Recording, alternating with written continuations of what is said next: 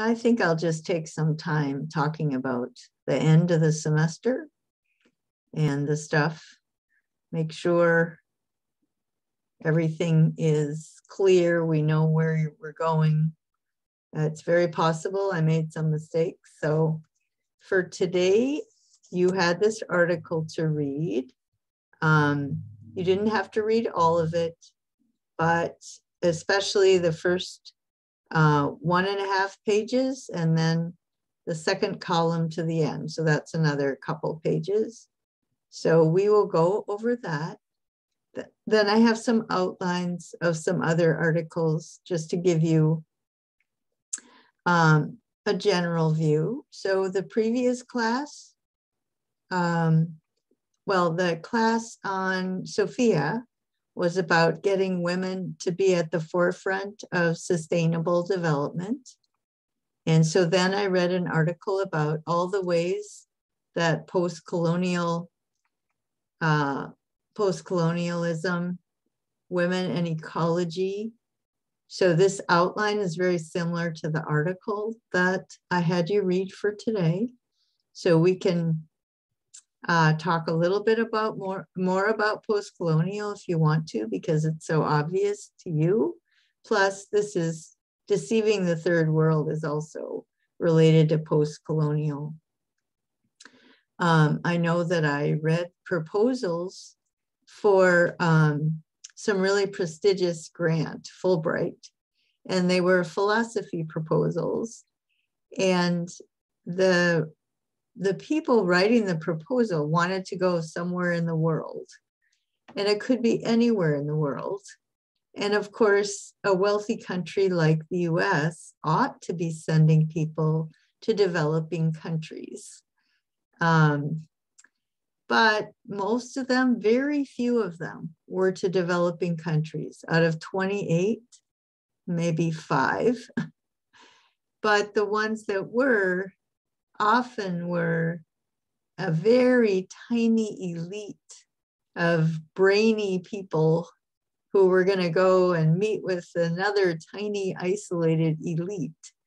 And and they were just going to reinforce colonialism. And then some of them were all they thought they were so international because it was philosophy as a way of life right? Boy that's cool. And um, they were going to go to Iceland or somewhere in Northern Europe. It's like, uh, hello. and then every single book, every single book on the syllabus that the students would read was written by a privileged white Western male. And it's just, you're brainwashing. It's just colonialism all over again. And I had to review them with a couple other people. And I was so angry.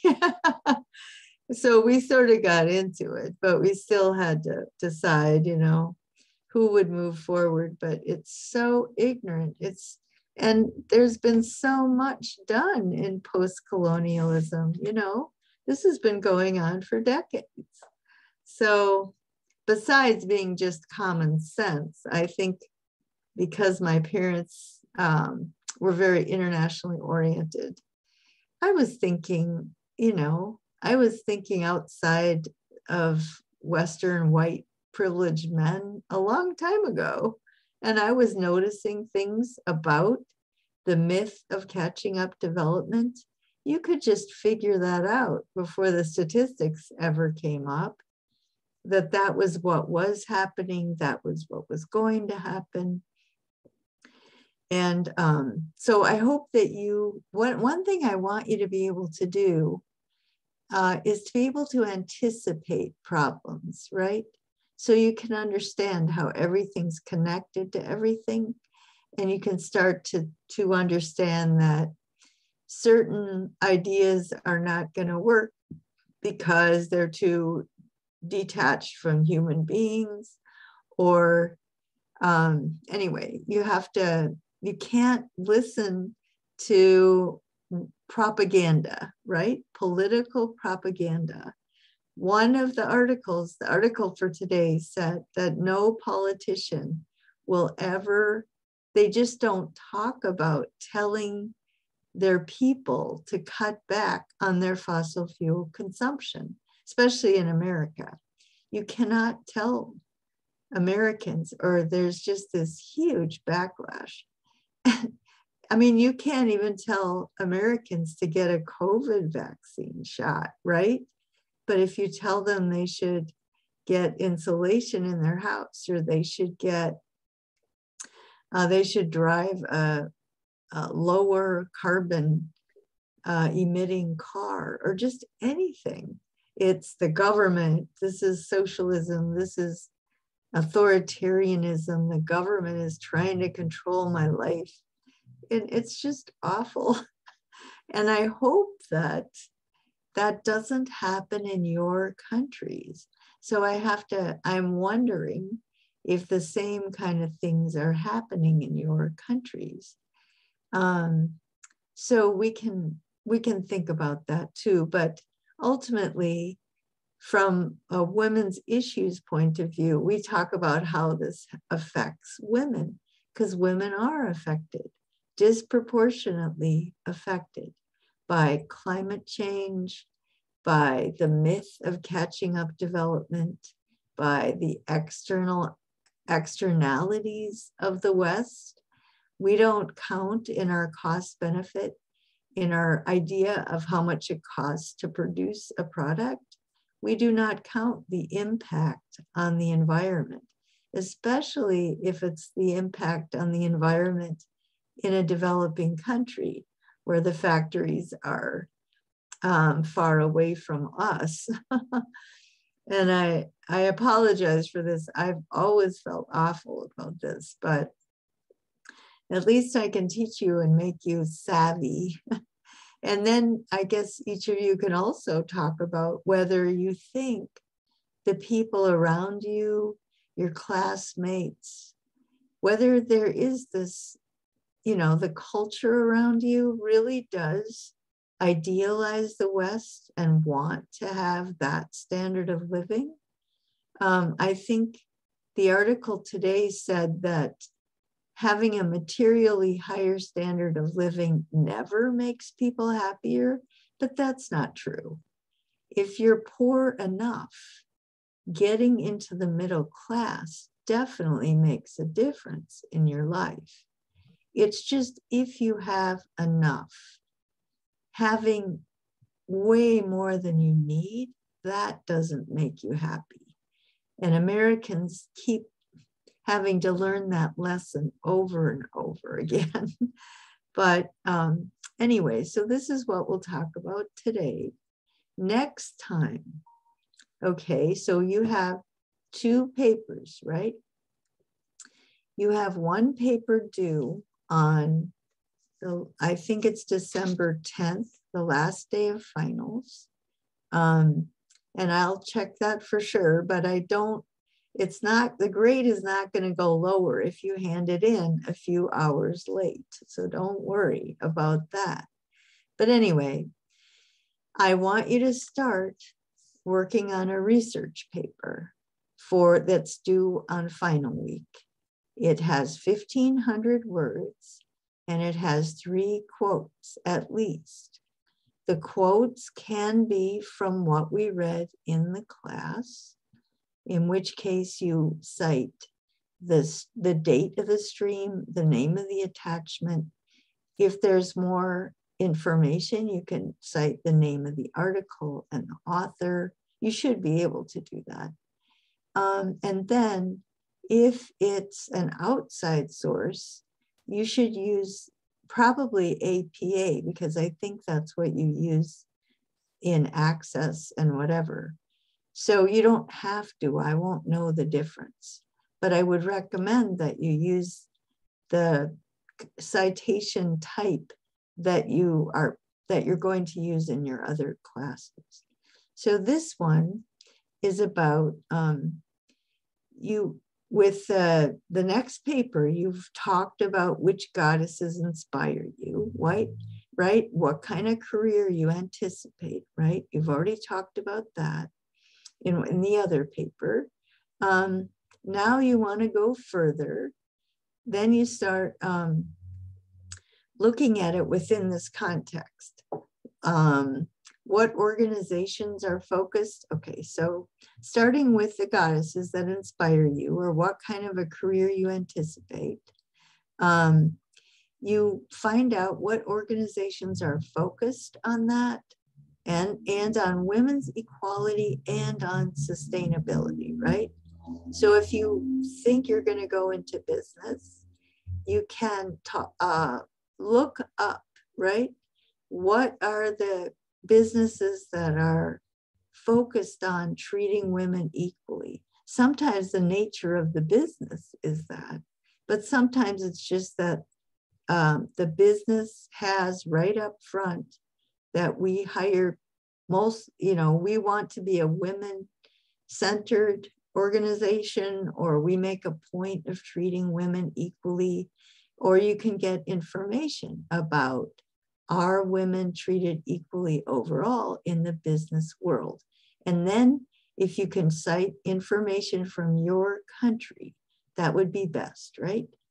So, and then also sustainability, which businesses are the product is, is a sustainable product which businesses are re, restructuring the way they operate so that they're less carbon, so that they lower their carbon footprint. Um, you may also, you may want to look up networks in your villages or locally in your region or national organizations. You can look up government and non-government. You can look regional or the United Nations uh, find out opportunities that might be available to you or networks you can get connected to, right? It's just the beginning, just starting from uh, what you think you might want. And you, that we change our minds a lot. So don't worry. I just had an idea about something today and I contacted someone and they said, nope, that's not going to work. So I'll try something else. Um, okay, Mahira, yep. So ma'am, uh, next is Tuesday, like November 23, we will bring an article and present it what it says. Next time, yep, yep. And uh, we don't have any other posts, right? You don't have any other readings. Okay. Uh, Ma'am, do we have do we have further uh, like uh, any more presentation? Like you said do we have formal presentation in our paper or something like that. Yes. Yeah, because you always do when you do a paper. So what that's the next day, that's the following, a week from today is uh, your formal presentations on your goddess's paper. And then you, you need uh, a PowerPoint for that too. Because you remember when Puja and a few others gave a PowerPoint. I thought it was nice. And I like do, uh, it's goddesses paper too. Like um, that one uh, deadline was 20 November, right? Right?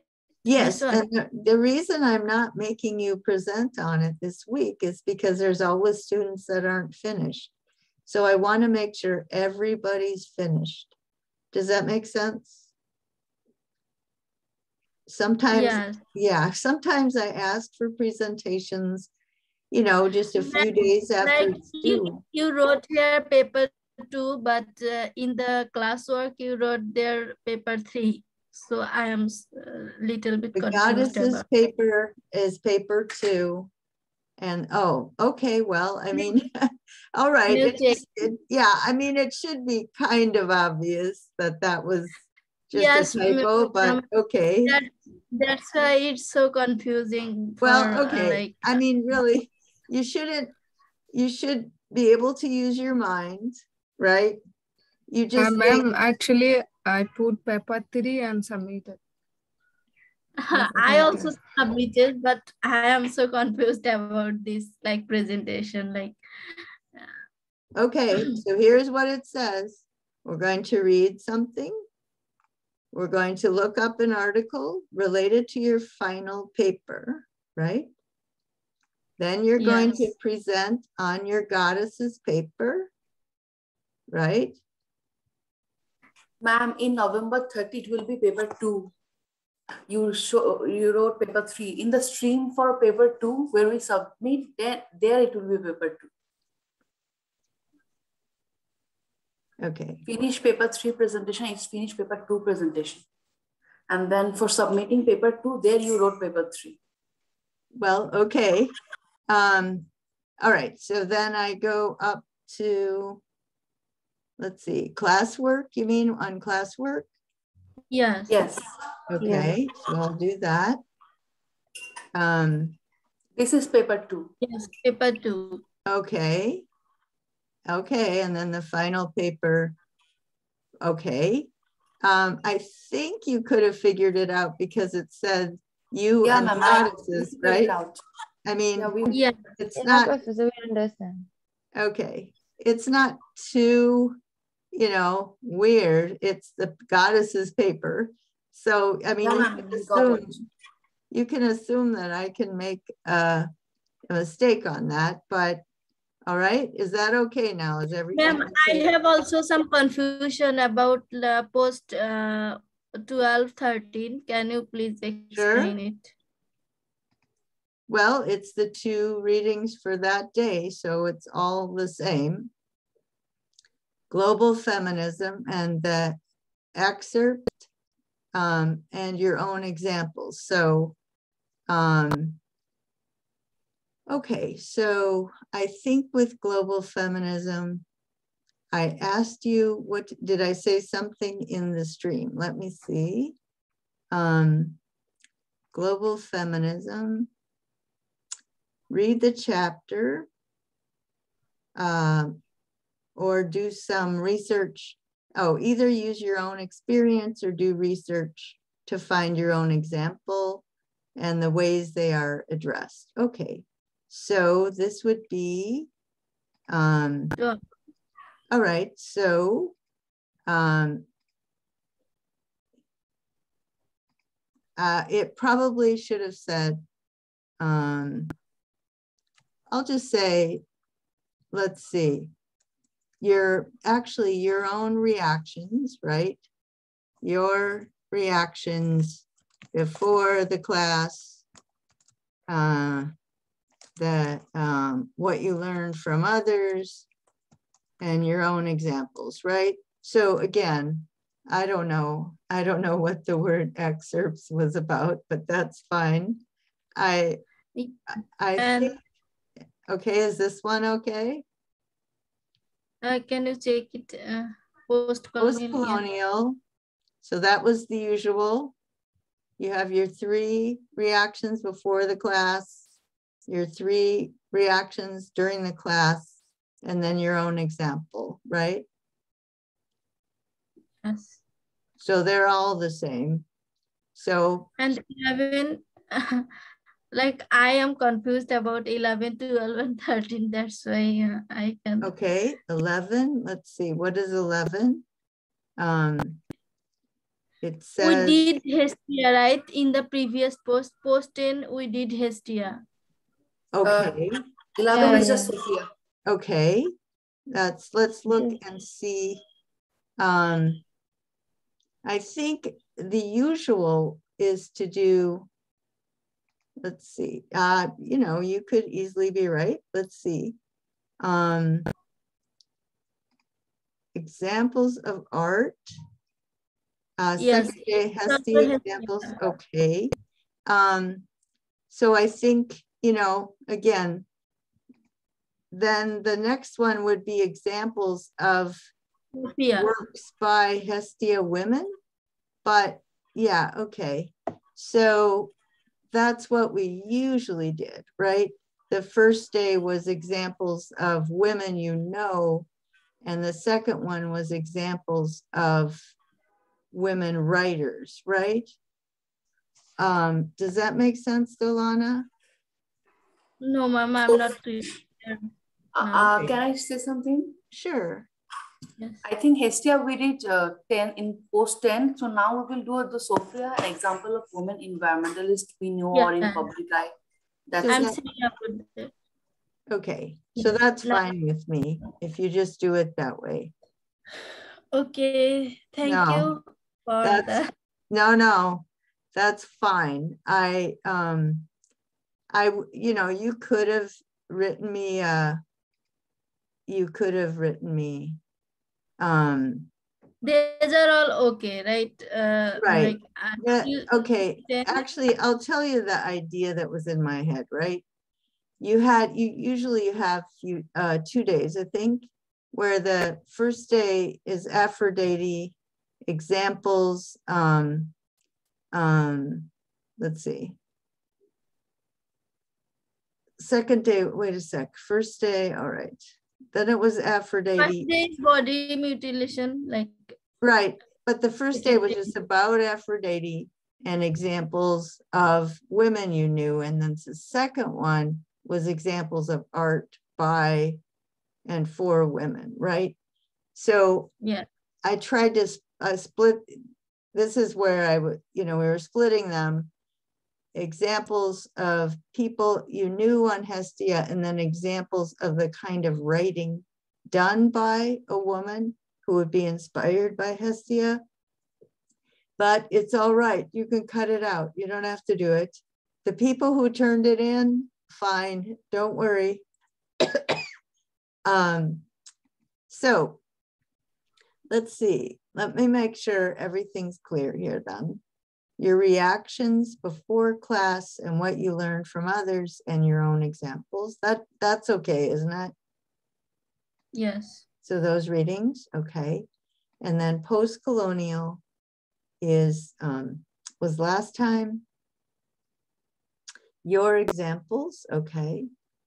And then, and it, that's also, you know, what you, your reactions before class, your reactions dur- during class, and your examples.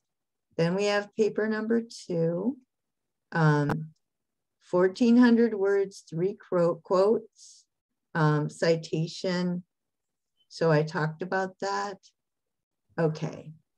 Is that, and then the next one, the final paper, let me make sure. Starting with the goddesses that inspire you, then you do, uh, and then you did talk about what career you might anticipate. And now you just take that further. Um, and then like I, I said that before, so okay.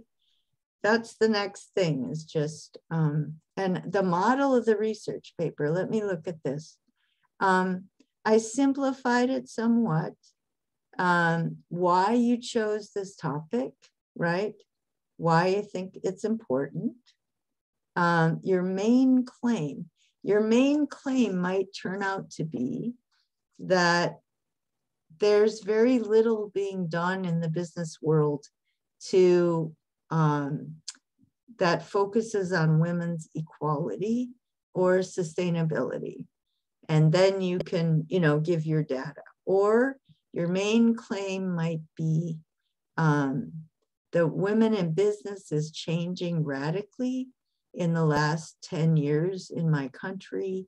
And then you, you know, and so um, and that would be what you found when you did your research, and that would be your main claim. So I don't know what your main claim is going to be, but it needs to be related to those three things. What kind of job you anticipate? Well, could be four things.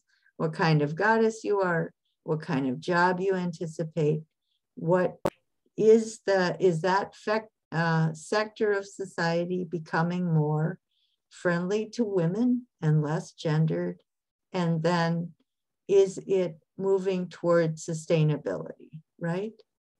That would be, and whatever conclusions you, you don't have to include all of it, but you start doing some research and you make your claim and it's going to be significant, right?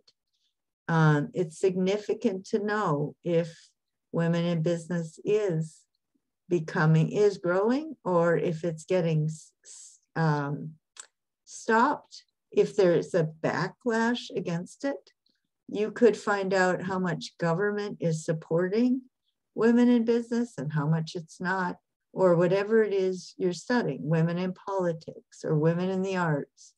Um, let's see, and then the discussion, you just draw, describe the data, right? And whether it's qualitative or quantitative, okay. So discussion is what used to be literature review. I looked at a number of examples and you can call it literature review, you know, whatever, but that's what that is. And then you have your conclusions, recommendations moving forward, right? Um, so it's kind of anticipating you're now you know where you're stepping in. What's the situation you're stepping into? And what do you anticipate being a contribution that you can make that you can focus on? This does not mean this will actually pan out for you. Don't worry. uh, life changes us a lot, and you know our paths don't turn out the way we thought but it is learning how to think about what you um, what you anticipate so that when your life path changes you can start with a different set of assumptions and you can do research and then you can you know create another path another anticipate another goal and but you sort of know how to do it. So this is just sort of the pattern of how to do it in general um, okay, let's see. Now, I apologize for those mistakes. Uh, I wish somebody had told me right away. Truly, you know, I don't like to cause students grief. Um, they have so much already on their plate.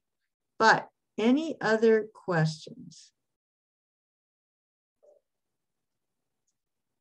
Okay, so I think then um, I guess I'll just go through the outline here for a minute to refresh people's um, memory. I have a question. Someone asked that, do we have any final exam? What? Do we have any final exam? No, no, I'm a paper person. Wow, what okay. would I test you on, you know? Yeah. I can't imagine, you know. Like uh, uh, our academic registry has already sent us the uh, like uh, schedule for final exam. That's why. no, that's actually I looked that up, and um. Only submission, right? Well, actually, I would like you to meet we will meet during that final exam period, and then you'll give a presentation of, um, I guess you're already giving a presentation of your paper, so that's okay. What I want you to do on final week though, is have office hours with me, okay? Make sure to meet with me. That that is, I'd like to require it, right? that you meet with me when you have an outline and you're ready to um, you're ready to write it and I can maybe give you more ideas or more articles. So I would like you to do that. Uh, I think it's this class where the final exam period is pretty early in the week. So you do not have to meet me during that final exam period because I don't think you will have gotten very far in your papers at that point. Um, but I will have the same office hours I usually have. And you will sometimes have a final during that time, but I don't, you won't every day. So I'll just be here, right? And I would like you to come when you're ready to think you can give a presentation on your paper and you're you're ready for us to talk about it so I can give you some ideas or help you clarify your ideas. Okay. So after completing our uh, like uh, final paper, we have to give presentation, right? No, you hand that in the last day of finals. So when December you 9. what? December 9, that is the last day. Right, December 9th. Uh, you Can you Okay, you have to give, you have to give um, a presentation on your, um, let's see, you will discuss less formally your plans for your final papers, right? Because you aren't going to be very far along, but um, I do want you to, okay, on this one, you have to present one article, right? The research that you're heading toward. And then on Friday, on the, sorry, the final day of class, you have to give a less formal presentation.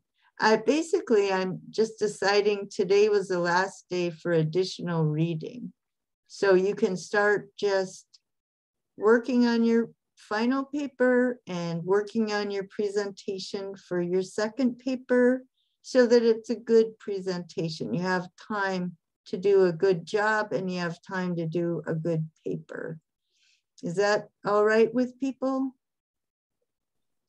Any other questions? Ma'am, do less formal presentation on final paper require any PowerPoint? Ah, no, because that's a less formal one. No, you don't have to have a PowerPoint. If you want to, you can, but you don't have to.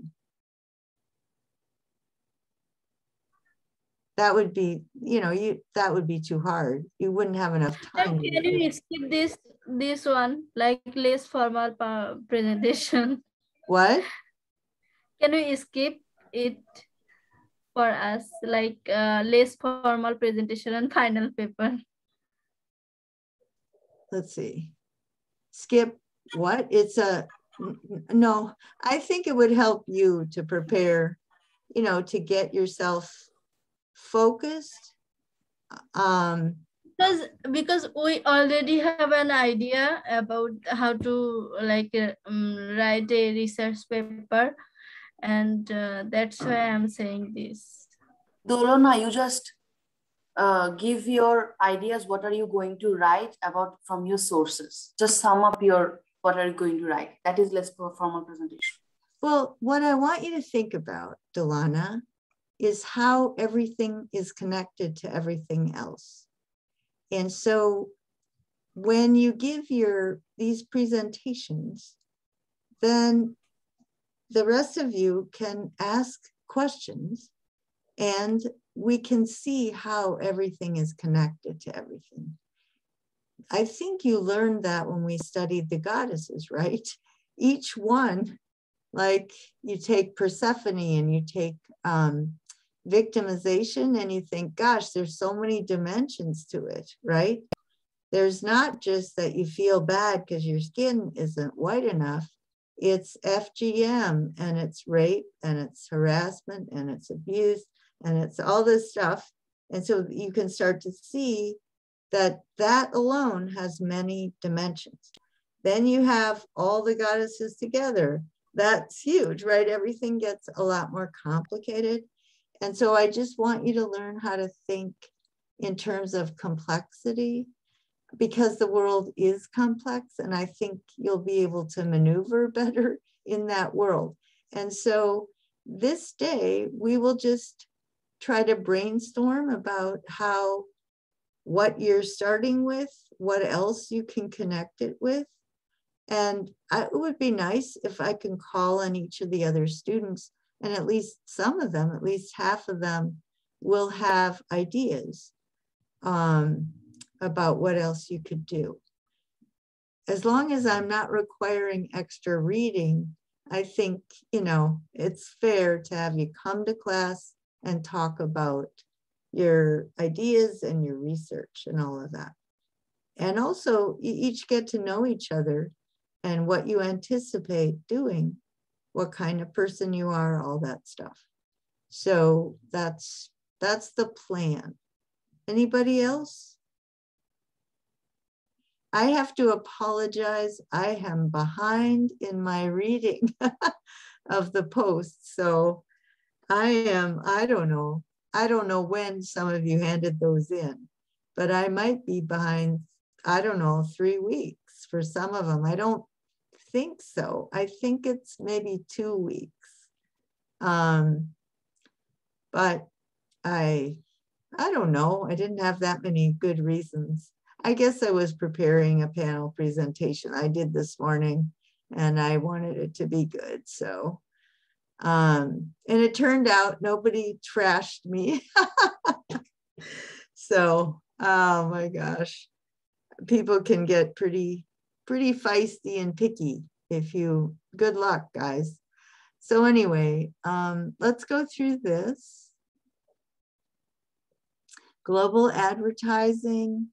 This was, this would have been on that section related to the section on Persephone, where women are made to feel inferior. Um, but just in general, this article is about, uh, if, if any of you want to read any of this stuff, you can, but it's just about global advertising in general and what a huge, huge billions, trillions of dollars and how much damage it's doing the way our economic systems have been set up. So I don't know if I said this, uh, the Glasgow summit, it just, it seems to me there wasn't as much excitement this time as there was in Paris because people are not following through on their promises. Uh, nations are not turning around. And then I found out that there were 500 lobbyists from the fossil fuel industries. And so they looked at it as a great opportunity. You have all these developing countries, the leaders right there, and they can just sit and make deals with those leaders for more fossil fuel extraction. They don't even have to fly to the each country individually. This is easy. Make a 10 o'clock appointment with one of them, 11 o'clock with the other. So I'm not sure what actually happened there. Um, the other thing is the way it's designed. A lot of rich people in the US are getting richer by being sustainable or appearing to be sustainable, having a reputation for being sustainable. So I I don't have illusions. I just know every day, you know, you have to be on the right side of history and you have to keep going. So you shouldn't be discouraged. All of you have a great life ahead of you, but um, the context is going to be pretty scary. Um, but the, all that means is somebody's got to be leading, somebody's got to be um, helping those are who are farther down in the food chain or more seriously influenced by climate change. Um, then he's talking about um, psychology, that people really psychologically, people are denying all sorts of psychic pain. They're splitting their mind and their body. They've got it's not making people happy. The kind of level of consumption in the US, um, we have so much violence and escapism. We have a lot of escapism in our country. And um, the article you read for today said that that's one of the prices of development is community.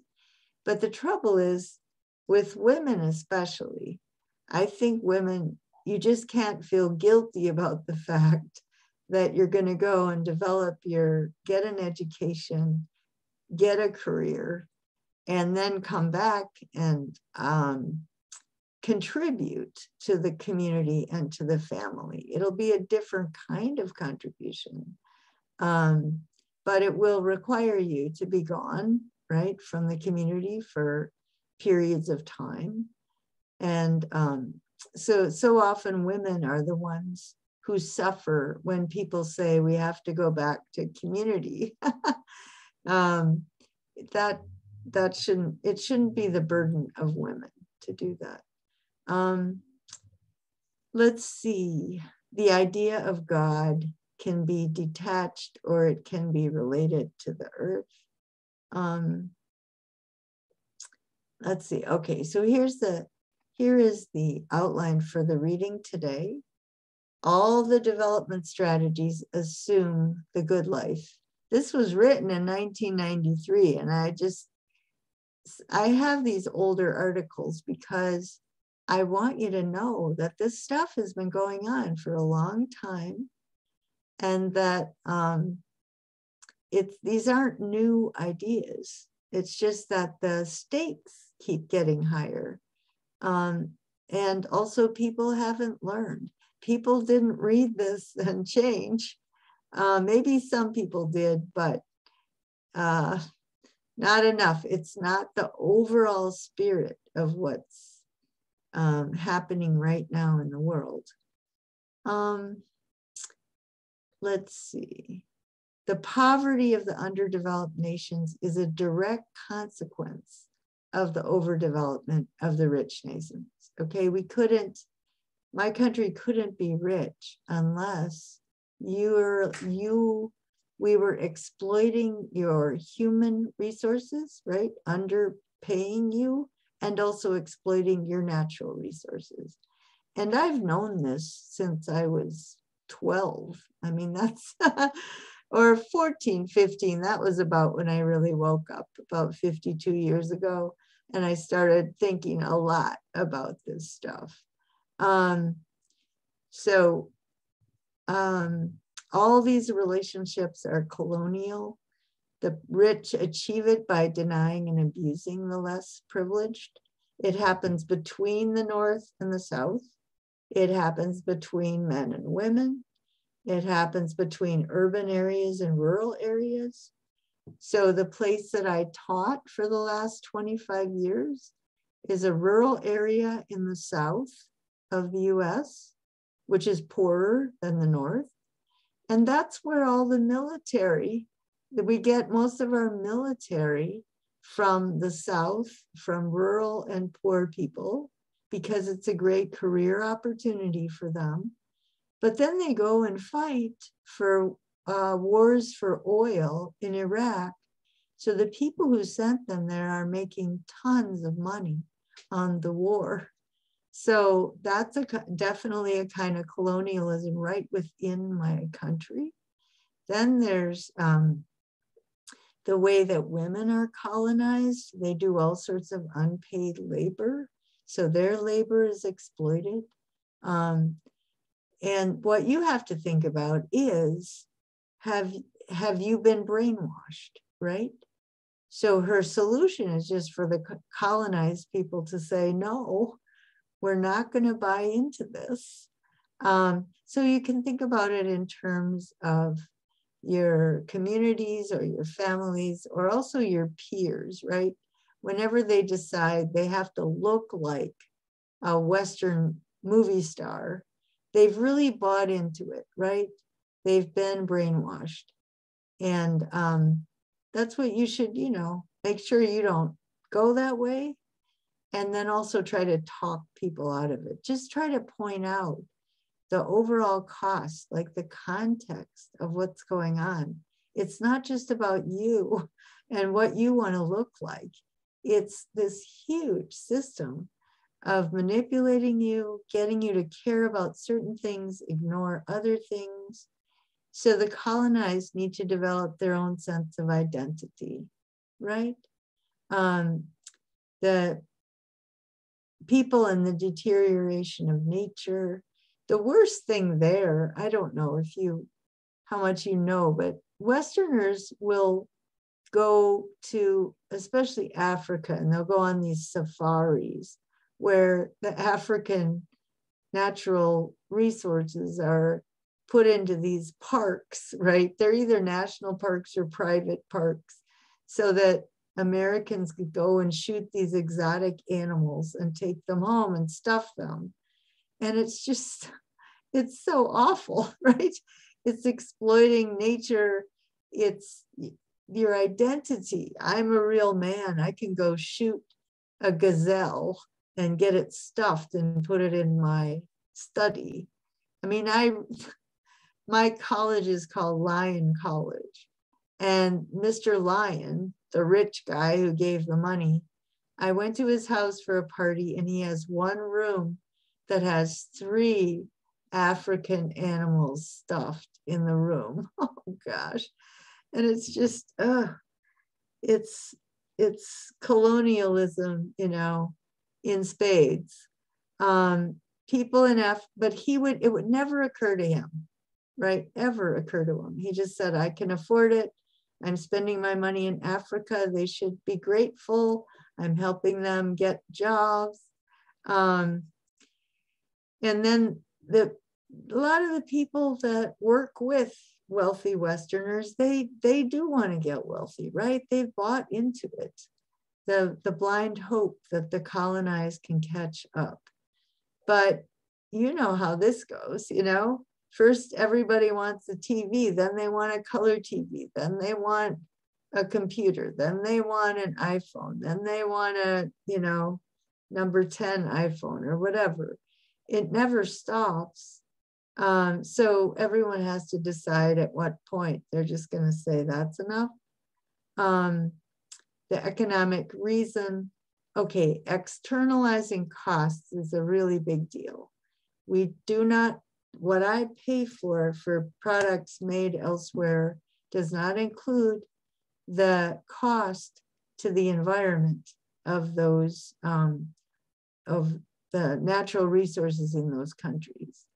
Um, catching up is impossible.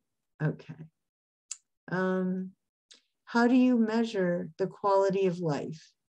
The size of the economy is not a good measure. You have to have distribution. How is that money distributed?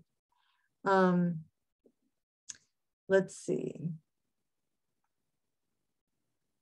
You can't, okay, exploit external colonies.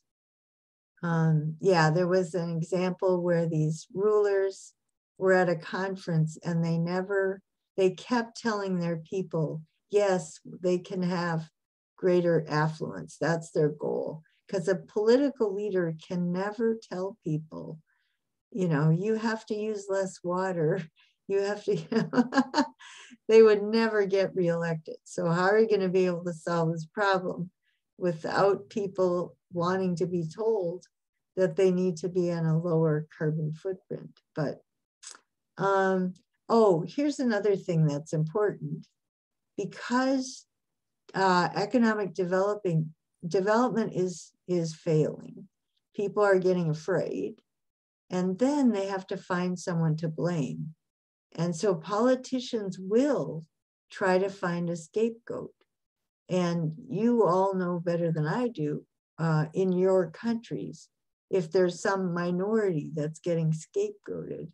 Um, and then fundamentalism is growing. Uh, you know that as you know better than I do in each of your countries. Nationalism is growing. It's growing in the US. That's very obvious. It's just that in other countries, people are even more on the edge. And so um, it's growing there too. Um, Okay. Oh, and the other part was it's hard on women. Women especially suffer for this. Oh, okay. So, well, maybe I'll I'll just I'll talk a little bit about the section on women in the article. It was toward the end. Because maybe maybe you already know this, or it's no surprise, but does it help women? Um, let's see. So let's go. Equality is is always based on money, and of course, women don't have money compared to men. So it's always much more about men. Self determination and freedom are limited for women because they're treated as commodities, because um, even, okay, we talked about this. Even if they have money, they don't have any say in what's offered on the market, like pants without pockets. So they have to buy purses. And you remember that stuff we covered about the the marketplace and women. Their own desires and needs are constantly manipulated or they're ignored or they're restructured. Um, let's see. Yeah, okay, here's another important thing that women in the developed world depend on the exploitation of women in the developing world. So, for example, the garment industry. This is a good example. So, when I came to Bangladesh the first time, I like fabrics. I used to sew. I'm really sensitive to um, uh, style, you know, design. I love um, batik. I love, um, you know, the usual thing that Westerners like. Sorry about that. Very stereotype, but it's huge market, right? All over the world. The trouble is, the question is, how should I should I buy these garments? Because I know on the one hand, the industry, the salaries are so horrible. We talked about that. The working conditions are horrible. Um, sh- but you know, should I not buy it at all and then they don't sell, or should I buy it but the conditions don't get any better? Well, then, if the wages did get better for the women in the developing countries, then the women in the developed countries wouldn't be able to afford buying as many right? So they wouldn't buy as many. And so women in the in the industry would get paid more, but not as much many garments are being sold. So many of them wouldn't be able to work at all. They would get laid off from their jobs. So that that's a terrible syndrome. But I mean, that's that's she's saying that that's the way the whole system's set up. It's antagonistic it's not designed so that there's everybody wins. It's designed so that the rich people have have complete control. They can win and everybody else loses. Um, let's see. Okay, and then there's the ecological stuff. Uh, and mothers, oh yeah, that other example of mothers in Germany where there was um, the milk was poisoned. So they were only supposed to nurse for no more than three months. So this woman in Germany finds out about millet.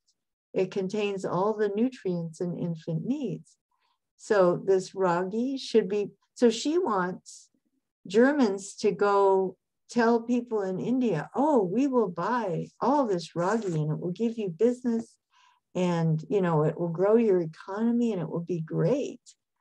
But the truth is the women who live there and use it uh, it's free right? It's a subsistence food. As soon as german women want it the price goes way up and they can't afford it. And so they you know the poorest women probably won't get jobs in the factories that make it somebody will. And then the women who were using it to feed their children no longer have good food for their kids. They might then have to buy processed baby food that, you know, is processed by some American company that ends up, they have to spend way more money for their baby food and the profits go to a US corporation rather than just having it grow naturally where they are, and it's very cheap or free.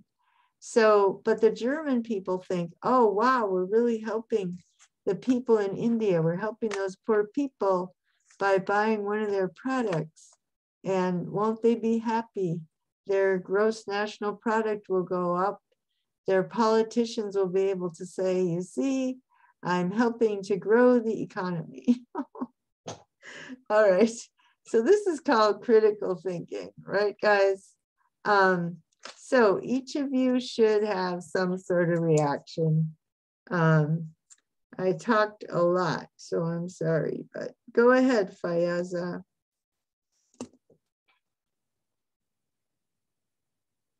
Fayaza?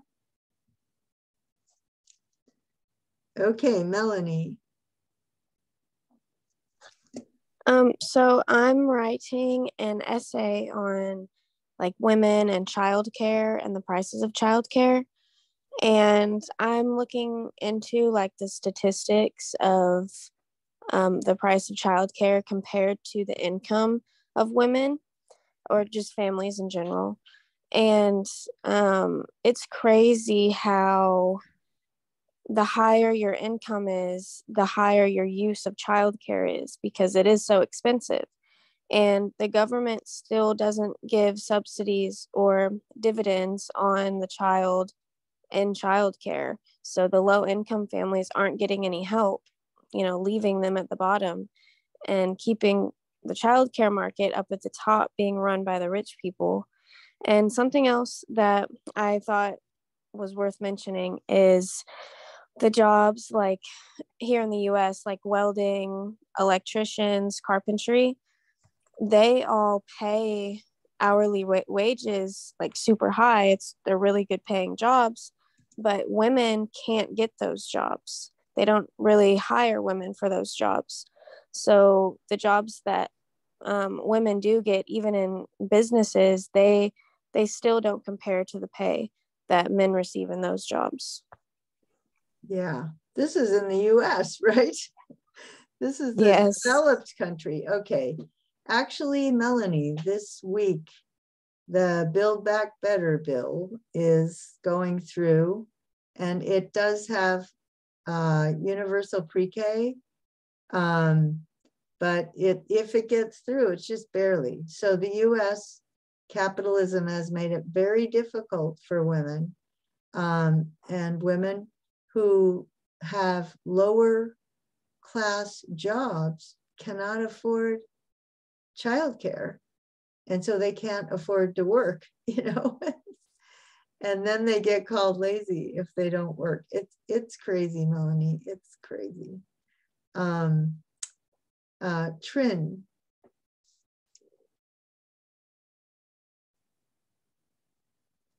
Yes, Professor. Um, so we we will give the reaction about the yes, your reaction, something from the reading. It doesn't have to be anything I mentioned. You can.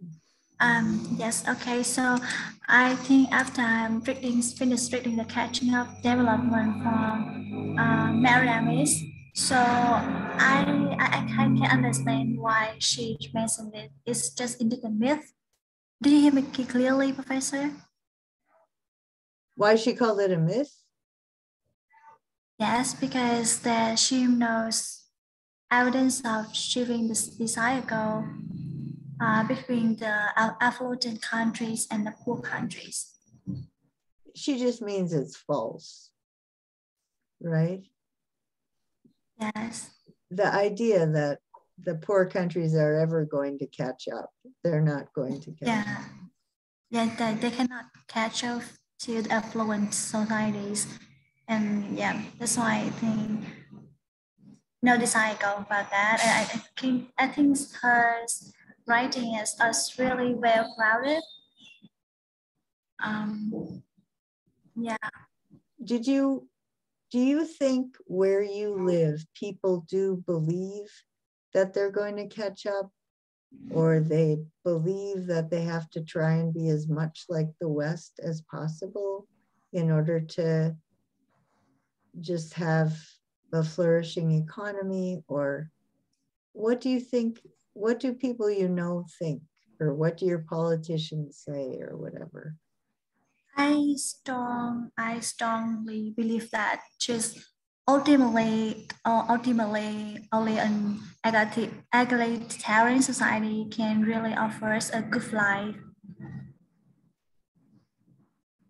I didn't quite get that, but so you're, do people say your own society can offer a good life? Or becoming more Western can offer a good life? No, just just uh you know just like uh, um the term catch up for once, but not like you know following the un, the develop the developed nations kind of that. Okay, all right. Um, Mahira, what have you got? Uh, like ma'am in our country bangladesh I, when i read about this i did i felt it normal because everything was like uh, happens in my country. Like if the women are in same jo- job but not same payment uh, and if they are from ethnic minority then they don't give get any decent jobs. Like they are like helpers in parlors beauty parlors or something like the small jobs. And then and um, then the bourgeoisie and proletariat type of thing that they suck out the work out of them but they don't get equal pay and then uh, the price of daily materials the women are not uh, many women are not financially independent so uh, so they um, they have to suffer for uh, from high price things and they can't buy it because they have to ask for their male family members. Yeah, okay. Was there anything different in this article that you hadn't thought of before? Like most of the things were similar and uh, like what happens in Bangladesh. Okay especially the garment industry. But you know, in Bangladesh, it's notorious, right? Oh yeah, garment industry. They treat them as like they don't have uh, any life. They don't have time to breathe, work, work, work, and meet the target. My grandfather also have a garments industry, but he treats every worker as equal.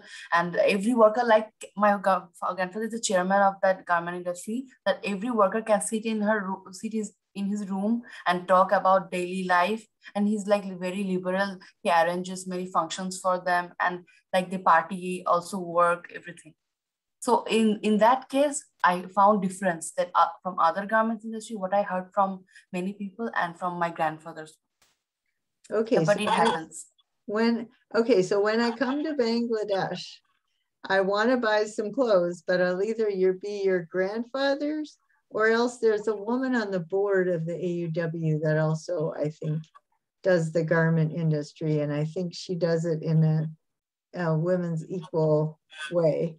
So I'll just have to be picky about which companies, right? Mahira, does that make sense? You'll have to tell me who your grandfather's company. What yeah, yeah, I will send it for you.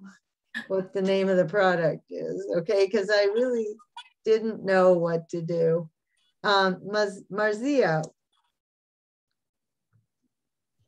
Uh, yes, Professor. Uh, professor, uh, yeah, like uh, this article uh, is somehow somehow not read, mostly related according to my country. Like uh, in our country, also like the people who are in power or the people who are rich so uh, they are somehow taking uh, the most uh, uh, income, the most money or incomes that comes in their control, but the poor people are uh, cannot get that. And also like uh, in Afghanistan, like minorities cannot get the job that the other peoples cannot. Even like politically, it is somehow organized that from which ethnic group uh, should have uh, these jobs, these chairs, or or be work in these um, positions, or this ethnic group should work at these positions. Like uh, totally, the base is the basement of the government. Like right now, I do not call it government because there is no government. I do not believe that, but before like the people were uh, uh, like the people were uh, totally the, the, from the base it was like chairs the positions were divided who should take this chair for example in afghanistan hazara people uh, it is somehow believed that they cannot be president because they are minority uh, or they cannot be the minister of uh, defense because uh, like uh, uh, they it is somehow like uh, they were if they have the ability they will, they are not allowed uh, so uh, in even in economical positions and also uh, for the women i think the situation is even worse and for the women, it's not about the ethnicity; it's about their gender. They are uh, criticized by their gender from in every positions. They cannot take it easily. So uh, uh, and also, but about uh, like uh, about the Western beliefs that uh, uh, like their economical uh, level, like uh, as you have mentioned in the beginning that uh, in our country that girls want to live in usa or their uh, economical is how does it looks for them like uh, recently like uh, i came to bangladesh like some of my friends says uh, how lucky your friends are that right now they are in usa and these things so uh, yeah like people believe that us uh, US system, like US economical system, support everything is really good for women. So they they get it as a privilege to live in USA. Yeah, that's where I'm saying that I don't agree with her that it's not at all beneficial. Like you've got to get up into the middle class, right? To yeah. go from really below up. Yeah, so it is good for those women to be in the US. They're going to have a better standard of life. But um, but after a certain level, once you get what you need to obsess about never having enough, and um, Americans can get violent, they can be obsessed about the next purchase, they can get depressed when they can't keep up with other people and it's all just that is socially constructed. That's not based on need, but just getting what you need so you don't have to worry about where the next meal is coming from. Definitely, you know. Um, let's see. Does that make sense, Marzia? Yeah, Professor. Yeah. Uh, no, there's no final exam. What would I test you on? I just, I don't know what how I would do a test, but I never do tests. It's always papers. And I think I gave you enough work to do anyway, don't you? I think you have enough to do. Uh, Roshani? Professor, good morning. uh, but this topic and reading, I think I uh, somehow connected it in the last class also regarding the colonization and influence of Western um, cultural and other things in the Eastern societies. And uh, I feel it's, it's strongly rooted like the Western thing or Western um, colonial or Western uh, cultural thing everything are like deeply rooted in the easterners people right now nowadays. And many generali- generalizations have been made regarding that um, by the people and by the people of like both the uh, areas i would say because um, the women uh, it is generally said or you know seen that the women who are well dressed um, and uh, who are who wear some kinds of jeans or some kinds of uh, some sorts of you know bold kind of dresses uh, go out for hanging partying and have a free kind of living lifestyle. She is often regarded as okay she is very bold she is very maybe empowered she is maybe very uh, you know uh, very clear on her thoughts maybe very empowered kind of person. Whereas the women who uh, from uh, remote places uh, who is self-disciplined who returns her home uh, like on timely um, you know who is very who, who does her work in a very disciplined manner. She, people think that maybe she is poor or maybe she doesn't know the maybe she is not empowered maybe she is bounded with so many things and so on so on. So these things comes along. So which is something wrong myth that even the people of even the women of remote areas actually can be empowered though they don't show it by accepting the Western culture, Western lifestyle. So uh, this is thing. And Professor, recently I have, a, I had actually a story, not a story, incident that few weeks back, uh, I went uh, to one of my sister's place uh, for baby shower so it's actually a western culture to have a baby shower right? Uh, and um, it's a very nice i love the celebration. I love uh, the womanhood uh, celebration. I love everything regarding that. And it was me like it was us who actually planned it and had uh, thought of this celebration thing. But uh, while returning i was like um, we are focusing or we are emphasizing uh, the celebration thing uh, from the Western culture. Like we have our own kind of celebration thing. We have our own um, way of way we are we have our own way of celebrating motherhood way of celebrating the um, you know pregnancy thing. But then why we only focus those things? Because of the glamour balloons because of the like classy thing. But uh, we the same thing we have something like religious cultural thing uh, to celebrate um, mothers. But we don't do it because we feel like okay we might be we might seem as a primitive while as the westerner things is always modern. So these things have something uh, led our society to some in bad ex, uh, in bad uh, in some uh, extent. And um, observing so many things. Now I, I have so many like um, things to say that uh, the cultural because you know uh, like uh, this time i have been staying in uh, nepal for like two years.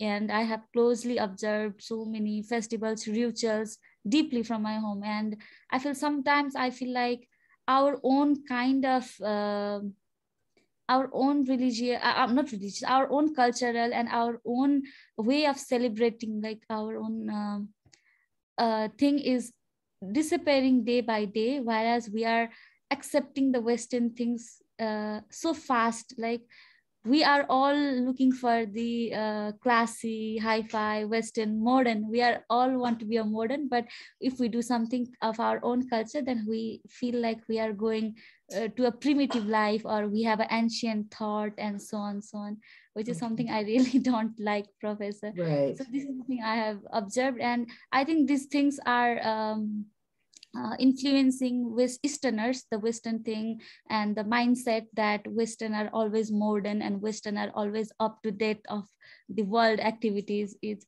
such a bad myth. And uh, women's are also like following the same that their mentality is that that women who are bold are i mean not bold by uh, bold by their you know appearance and everything are uh, modern and others are not yeah and then they'll actually then they'll start getting blamed you know Yeah. covid like god is bringing covid because women are being too feminist or something. Right? I mean yeah. it's funny until it's not funny. When people really believe that and then there's a backlash you know? So i hope you can find a way to balance those things out. Um, if you remember that quote i can put the attachment on again where this british officer came to india He said this is a very amazing culture there's people are really nice and harmonized and all this and we're going to have to destroy it and we're going to have to make them feel inferior in order to conquer them. So, and that was Hindu. So you could just keep that in mind, right? That that was the backdrop. And um, it was, and then they, one way to demonize was to call it a religion, and it's not, it's a way of life. Um, but anyway, good luck, Roshani. It's, it's, it's tricky. uh, Dolana, what would you what would you like to say? Okay, ma'am. Uh, I want to say that uh, uh, the reading is quite uh, like when I read this uh,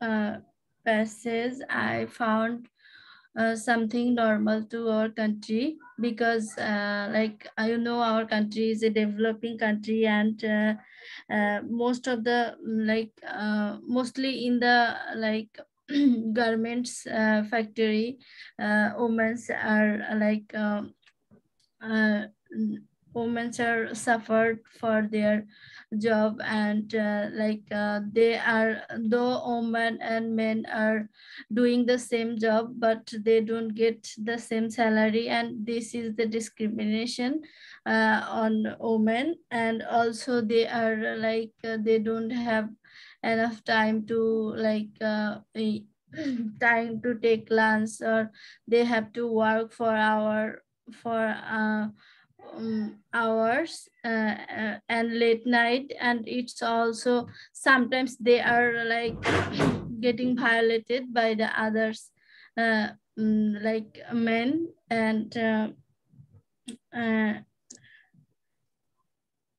and also another thing people are from ethnic group they are also suffered uh, and they don't get enough opportunity to getting a job or uh, um, like uh, same uh, our uh, like uh, majority people like they are like lagging behind and for to like remove to reduce this uh, discrimination our government uh, has started the quota system for the ethnic people in the government uh, job sectors uh, and uh, okay so i think i think this quite normal for our country.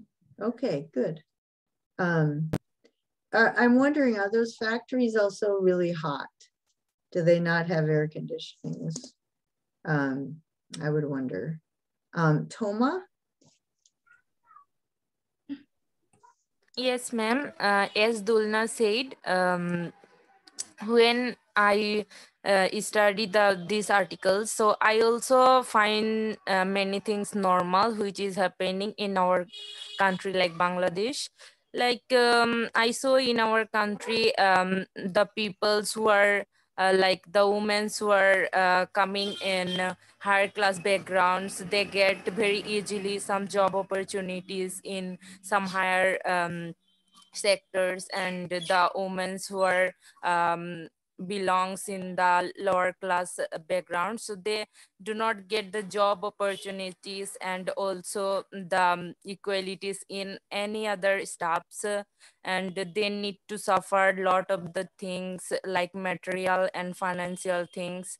Um, and uh, because of their uh, notice um, less uh, demandable things. They they are uh, they need their uh, family and their children are also suffer. Uh, they do not uh, mm, give their children's uh, fulfill their material things and also their family needs. And um, so i think these things are similar with that article i found in my country.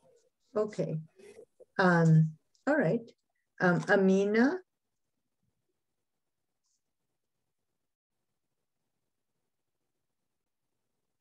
Amina? Okay. Um, Bristi. Yeah, Professor, good morning. Hi. Yeah, so uh, after reading this passage, uh, passage uh, I realized that uh, yeah, for job opportunities, I mean, a woman has to face uh, a lot of problems in our country because uh, I saw that uh, I mean my auntie is a teacher uh, of a pre-primary school and if for any reason I mean uh, she uh, has to I mean miss a class or I mean for attending any program or uh, sometimes for any family problems then Mean, uh, in a higher position and in their office, uh, there are so many, I mean, men working uh, on the on the office. So uh, if she, I mean, miss a class, then they, I mean, cut off her salary. I mean, uh, uh, she got a I mean, less uh, amount of salary, and also when she missed, and then they cut off their salary. So she has to, I mean, quarrel with them for this. because it's not a rules, right? Okay. I mean, whenever it's uh, emergency, I mean, she has to miss her classes, and also, I mean, uh, she has also, I mean, makeup class on holiday. I mean, it's not, it's not fair. Right. I think yeah, like this in Bangladesh, it's going on. Okay, I'm gonna, I have eight people in 15 minutes, so, okay, um, Janisa? Is that you? Janifa, sorry, Janifa. Are you there? Okay, Kasturi,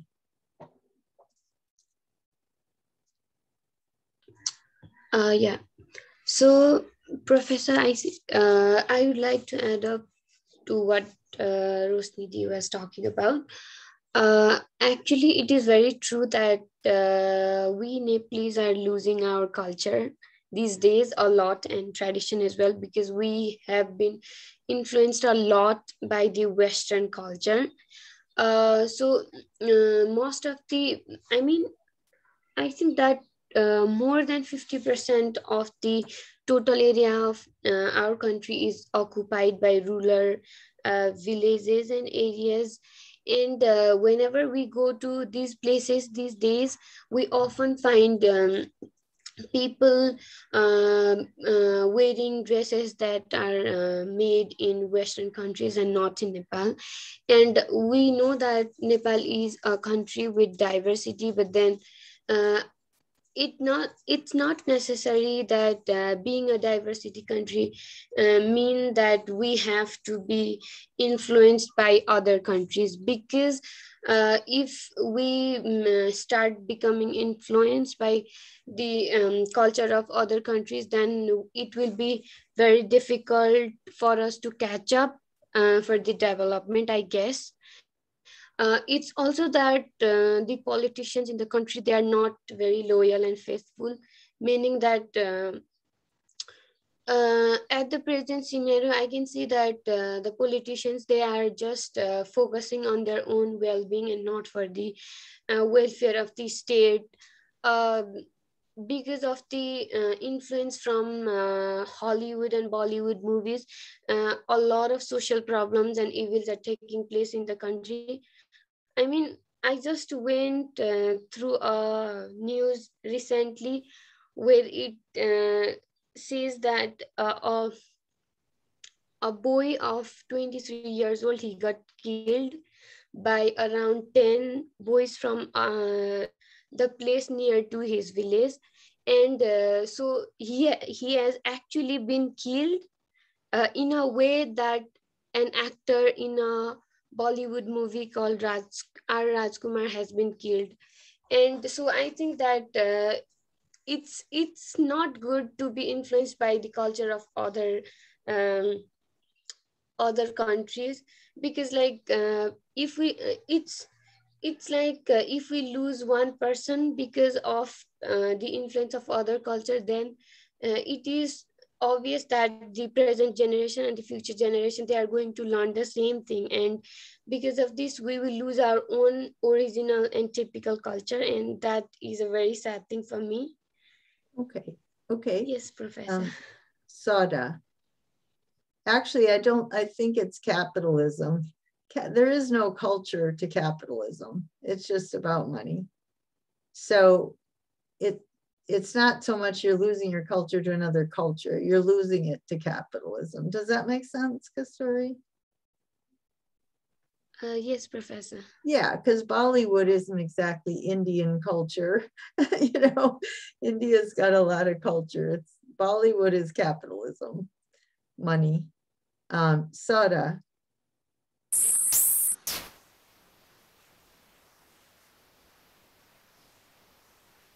Do you have something, Soda?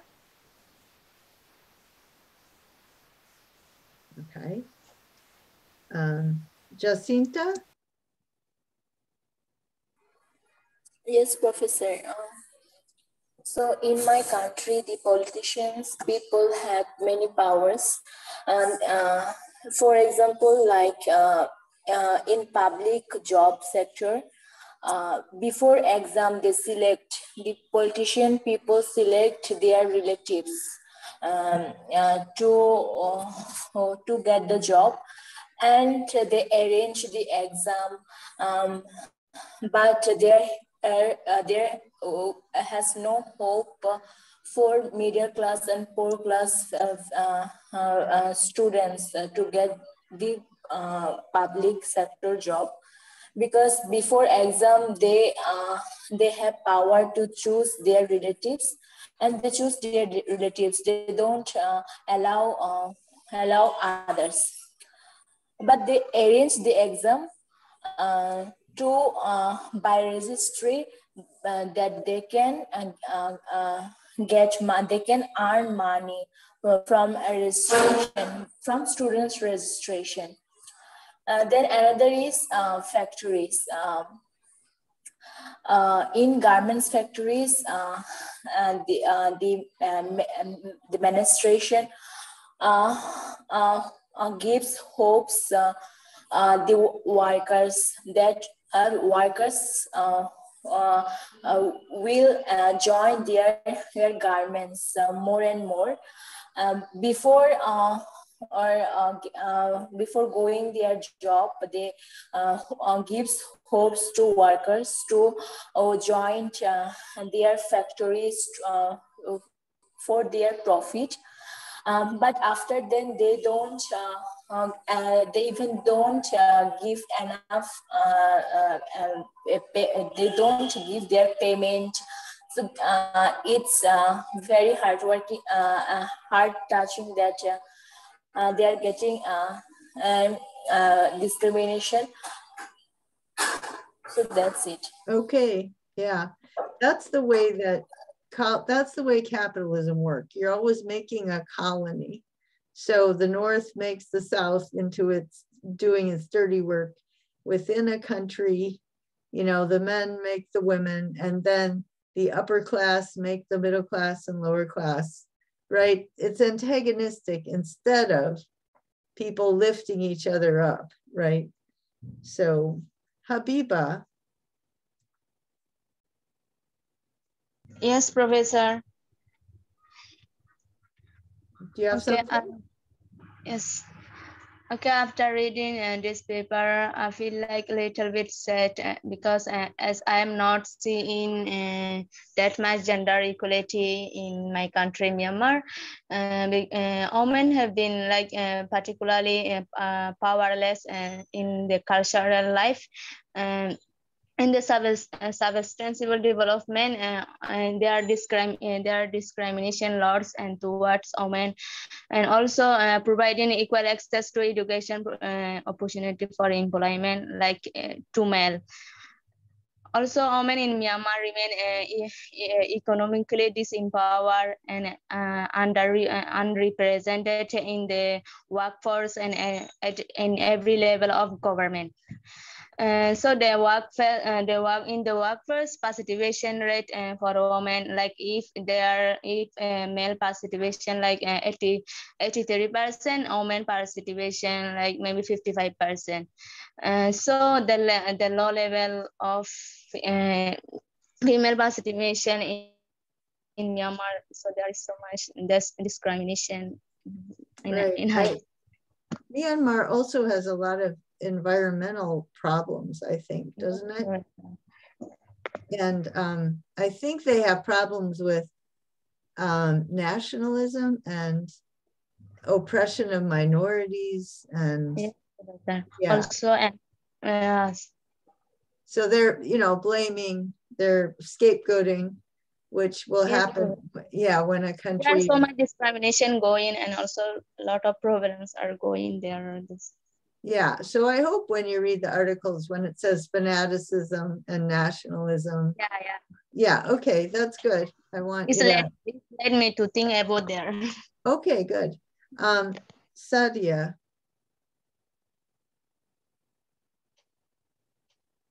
Sadia. Okay. Um, Fayaza, are you able to to do it? Yes, Professor. Okay. Yes, Professor. Okay, go ahead. Yeah, professor. Yeah, in the article, uh, like it's uh, for like it's also happening in Bangladesh, so it's related in Bangladesh culture, the garments company and the other. So I agree with the other batchments like who are living in the Bangladesh. They are also know about the what's happening in Bangladesh. Okay.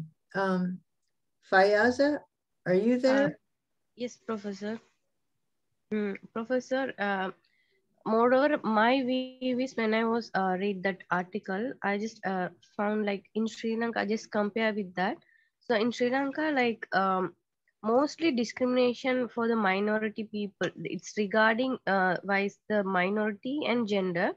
So if we take a look the uh, gender, that will be like some specific jobs that offer for the like uh, only male male males, right? So like uh, it's mean like the higher positions are they uh, it should be a man.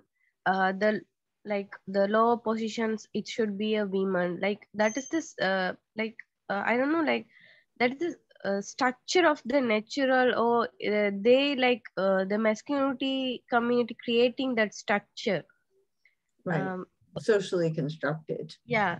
Yes i hope all of you know that um, i'm trying to get you very aware that you're going to be one of those very rare women you know that gets up closer to the top right? So you you've had this opportunity now to be leaders. That's why I want you to, you know, think about it, um, take it seriously. It is a big problem. Like you might become a woman that you've never seen before, right? You've never uh, met personally or been in contact with somebody who's at a level that you become when you are in midlife. Um, you can read about them and look at them online, but in your own context, you might be completely inventing something. Um, I know that I didn't know any women philosophers and I didn't know any mothers. and I I didn't think it was a big deal until I realized that nobody in at my work in my profession ever spent any time taking care of children. And then you realize, you know, you're carving out a new cultural space. And it's hard. It's harder than you might think. But just stick with it. You know, you're carving out a new cultural space. It's important. Um, Kaula?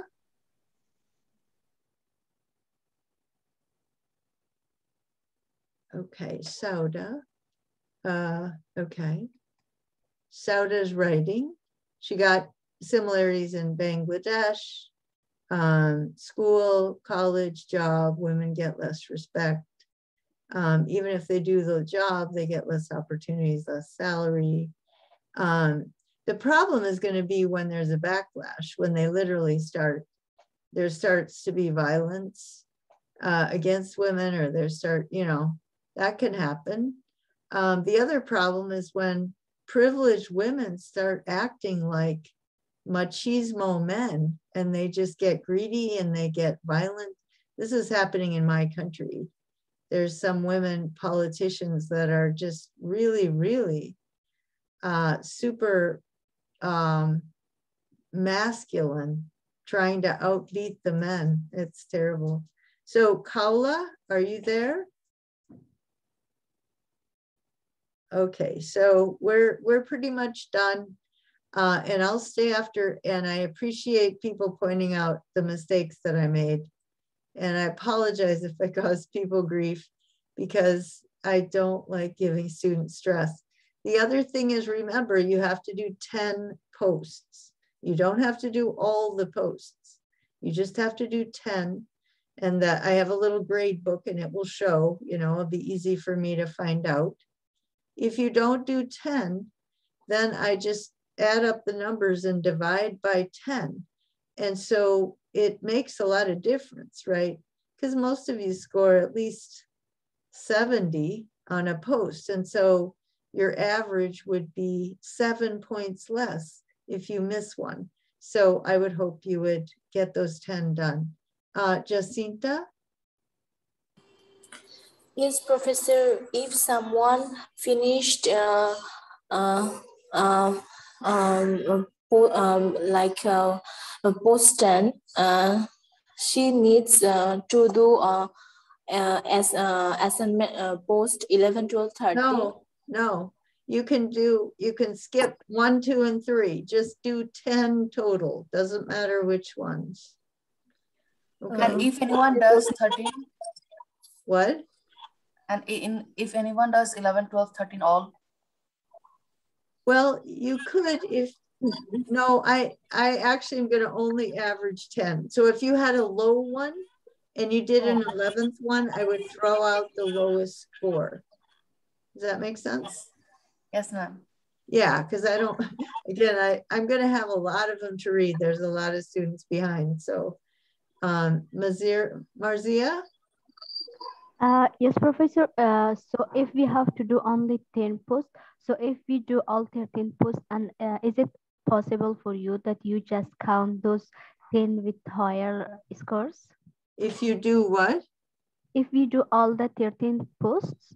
No, uh, actually, I don't I don't want to have to do that because then I'd end up reading, you know, I'd have way too much to read. So uh, you can you if you got one score lower, I can read one extra one and throw out that lower one. Does that make sense? Uh, yes, Professor. I just uh, wanted to say that if I, uh, for example, I have three lower posts, then if I instead do uh, 11, 12, and 13, will you count the, the next three other posts or no? You will not. Well, I think I think I'll count one of them. Otherwise, I mean, I like reading them and all that, but I just know that it's going to get to be like okay, last semester, there were 80 of them. So I guess I'll do one, right? You can redo one. You can do one extra one and I'll throw out the lowest one. Does that make sense? Okay, Professor. Yeah, yeah, got it. Thank you. That's a good question. Uh, everyone can go. It's time. People have to go. But if I'll stay for any questions, I hope I clarified things. I appreciate, Dolana, that you brought up all that. Um, Okay. Thank um, you, Professor. You. See you. Bye, Professor. Thank you. Sure. Thank you. So, Professor, uh, I have a questions like, uh, then the 10 post except the final papers, right? No, the, the 10 posts and the three papers. Three papers. Okay, Professor. Thank you. Sure.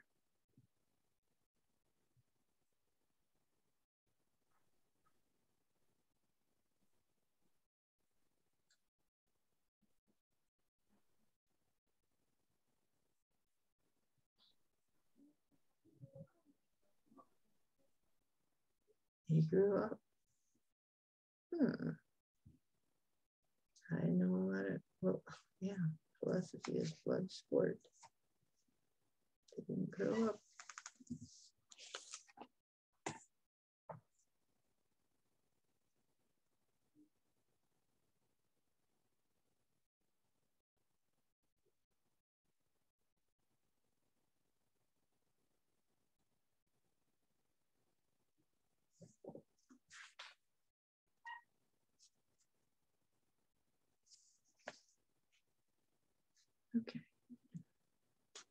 Janifa, you there?